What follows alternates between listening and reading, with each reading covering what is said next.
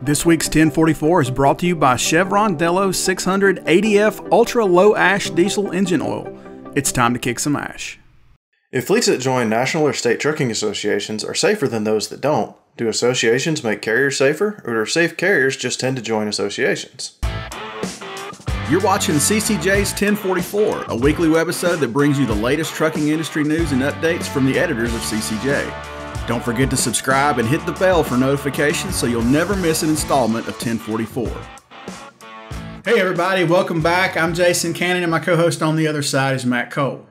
Trade associations in trucking provide fleets with a number of resources to its members. That includes training and education, research, advocacy, networking, and a lot more. Now, that's true at both the state and national association levels. A new study conducted by the American Transportation Research Institute dove into the safety statistics of carriers who are members of state or national trade associations to determine if they are any safer than those who don't join, and if they are, is it because of the association or were they already generally a safer carrier? Dan Murray, Vice President of ATRI, joins us this week to talk about the findings of the study and what it means for the motor carriers across the country. We always have one or two state trucking associations on our research advisory committee. And I believe it was Shawn Yadon, who at the time was the president of California Trucking Association. He raised this issue and was trying to get it submitted as a top industry issue through the RAC. Um, and just as background, we've discussed as an industry for years the idea that there might be a correlation between membership and safety. And not to poo-poo the the concept, I've I've argued, well, you know, the classic correlation does not imply causation stuff that comes out of research. And I said, you know, we probably could find a way to do the methodology, but at best it's a correlation. And we can't say that good, safe companies don't seek out membership versus the membership making them safer. So that was always a long running dilemma. But we started talking and realized that if we'd ask, add a second tier of analysis, which would give us, you know, the direction of a trend, so current members, former members, never, then we could see the trend line and attribute the change in the trend uh, from active to not as causation. And everyone said, well, that's awesome. I think Shawn realized that the large RAC composed of motor carriers, uh, vendors, federal, state government, law enforcement, academia would probably not vote it to the top. And so it was proposed by somebody, and off the top of my head, I don't remember, that we could use existing contributions that are made to ATRI by the state trucking associations. Almost everyone makes some contribution. We could use that to fund it. And so we asked the RAC if, you know, as, as an approval process, if that would meet their needs, and everyone said yes. So it we did proceed with it. It was funded separately by the state trucking associations, and then we continued on with the RAC voting uh, and came up with a separate five. So that's the process that got us there. To compile the data needed for the study, ATRI picked two state trucking associations from each of the four regions, as well as the American Trucking Associations, to provide lists of trucking companies that are current members and those that are former members. This allowed them to determine the companies that were never members of the associations. So what we did is we took the existing TAEC regions. So the TAEC is the 50 state trucking associations together. Believe it or not, they have their own trucking executive council, trucking association executive council. We came up with a reasonable list of both geographically representative, as in a, a couple associations from each of the four regions, TAEC regions, plus Within those regions, we picked a small association and a large association, or I should say smaller and larger. And then we also approached ATA to see if they wanted to participate. We ran the analysis. We obviously did a lot of data cleansing to make sure that we had adequate data and that the carrier lists were representative across. You know, we wanted to make sure we were mapping apples to apples in terms of current, former, never. Across various statistical analyses, ATRI found it to be true across the board that association member carriers had fewer crashers and violations than both former members and never members. We'll hear more on that from Dan after a word from 1044 sponsor, Chevron Lubricants. Protecting your diesel engine and its after treatment system has traditionally been a double edged sword. The same engine oil that is so essential to protecting your engine's internal parts is also responsible for 90% of the ash that is clogging up your DPF and upping your fuel and maintenance costs. Outdated industry thinking still sees a trade-off between engine and emission system protection, and Chevron was tired of it. So they spent a decade of R&D developing a no-compromise formulation. Chevron Lubricants developed a new ultra low ash diesel engine oil that is specifically designed to combat DPF ash clogging. Delo 600 ADF with OmniMax technology cuts sulfate ash by a whopping 60%, which reduces the rate of DPF clogging and extends DPF service life by two and a half times. And just think what you can do with all the MPGs you're going to add from cutting your number of regens. But Delo 600 ADF isn't just about after treatment. It provides complete protection, extending drain intervals by preventing oil breakdown. Before you had to choose between protecting your engine or your after treatment system, and now you don't. 600 ADF from Delo with OmniMax technology, it's time to kick some ash.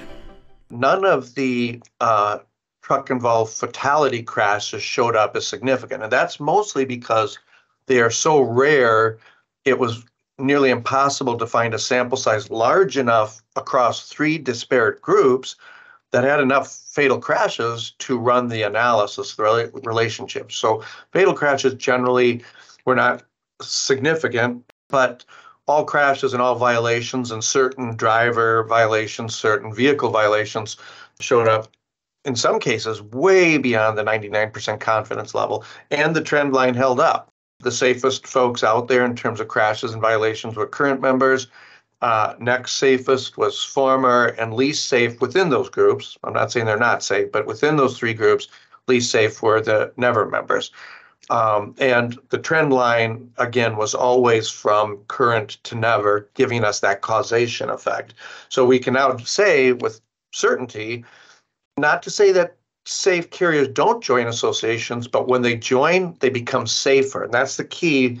That's the causation we were looking for in the research, the data. Dan says that now having data available that proves being in a state or national trucking association makes a carrier safer, that information could potentially be used by regulators and enforcement agencies for enforcement targeting. Well, we weren't going to go too far out on a limb by telling insurance companies and enforcement agencies and regulatory agencies exactly what to do. But it's always safe to say that when you have limited resources and you're focused on any strategic outcome, even beyond safety, that you want to leverage the dollars, you want to leverage the resources to focus on the low hanging fruit. So if we know on that continuum that current members are the safest among the group, then it's relatively bold, but it may argue that we should focus on the least safe folks, which in this instance is the never members. It's not up to ATRI to advocate for that, but that is a, a pretty rational argument. And I'd go so far as to say we also sort of intimate that other associations could conduct similar research. We gave the methodology away. There's a lot of outcomes, even outcomes beyond safety, if the data is available to look at Uh, per capita revenue for identical products and services, ROIs, even even organizational sizes by membership. So there's there's other non-safety metrics that associations outside of the trucking industry could easily run if they can obtain you know the the metrics that they need. And I, I think they can. There's a lot of non-safety. I mean almost any industry could go look at osha filed work injuries which is safety again. But I'm sort of eager to have other industries, other association groups uh, test the methodology to see. Um, and it's conceivable that some associations, some industries are not as proactive in their association membership resources. But I would think any association that provides aggressively provides support to its members in the form of training, education, product, services I suspect they would see similar trend lines between the current, former nevers. Carriers that join associations deserve some credit, Dan says, because they are likely more committed to safety to begin with. The associations then provide additional resources to help those carriers reach their safety goals. Well, to the credit of the motor carriers, I, I do think a carrier that joins an association is more open minded, more committed, more innovative. I, I, think there's attributes to carriers who join the associations that, that recognize that they need to look outside of their own organization if they're really going to maximize and leverage things like safety and ROIs and efficiency. Uh, so, so I think they're starting from a base that says we're innovative, open-minded, and you know, looking for support. But then you get to the association effect, and I, I think it's associations that provide very, very solid resources, and it, it is sort of a quid pro quo. It's not just enough to provide a litany of products and services, training, safety councils. We think is you know many of these have very active, even aggressive uh, safety councils, but it has to be a carrier or a member who is going to leverage those resources. So it is a quid pro quo. It's not just on the association side. It's just not the motor carrier member, but the relationships that exist between those. And and the peer exchange, we've done research and even cited it in this report, going back a ways that says peer exchanges of information and experiences is the single most powerful resource out there for carriers. When we looked at safety culture under a previous Transportation Research Board study, vendor marketing materials, not anywhere near the top. But if I could call up my friendly competitor and say, hey, I know you're doing the following training, I know you bought the following safety systems, can you tell me how they worked? that became a powerful resource. And associations are phenomenal at developing peer exchange forums. And I think that's going to be a big piece of this. The results of the study could have an impact on insurance companies and how they view fleets, too. Well, to start with the uh, insurance industry, you know, they have struggled to be profitable for the last five or six years. In fact, you know, based on anecdotal data, they just hit a year of profitability two years ago for the first time in almost a decade. So, so they're always looking for resources and guidance in terms of where do they put their actuarial formulas and how do they design them so that they're conservative in terms of raising premiums with the safe guys and, and much more liberal in terms of raising premiums with the marginal folks. So this becomes again, an important tool for the insurance industry who's constantly looking for new ways of assessing safety performance. So I think this is important. Now, that's our internal hypothesis. When you look at the number of report requests that have come in, close to 60% of all report requests for this uh, research have come from insurance companies, which sort of, you know, supports this concept that this could be a new tool from. And it's you know, to date, with all of the nuclear verdicts and less than perfect actuarial formulas, no matter who you are on the continuum of safety, you're getting insurance increases.